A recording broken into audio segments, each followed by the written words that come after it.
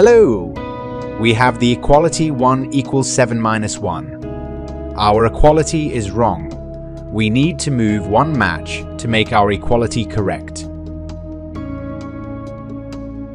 This is a pretty simple math problem that both children and adults have no problem coping with. Those who are good logical thinkers have no problem coping with the solution to this task.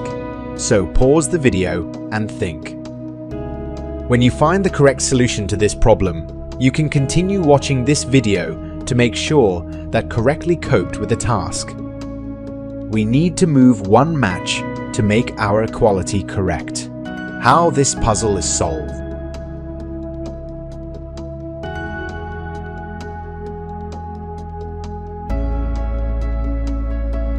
To do this, all we need to do is move this match right here.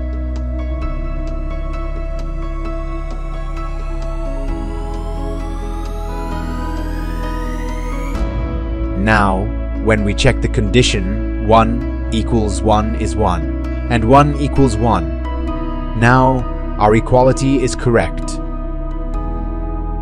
The task is done and the puzzle is solved.